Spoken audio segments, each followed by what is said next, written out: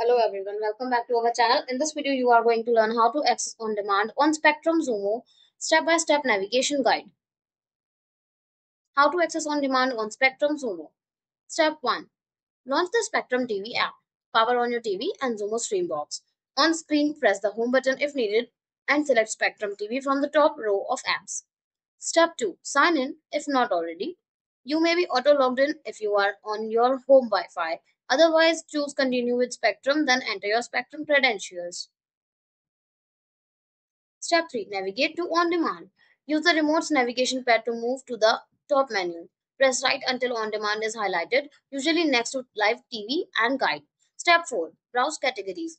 Once in on demand, arrow down to explore sections like featured, TV, movies, kids, or networks. Step 5. Select your content. Highlight a movie or show thumbnail. Press OK or select to view details, title, synopsis, rating, and available playback options. Step 6. Play the content. Choose play or watch now and press OK or select to begin streaming.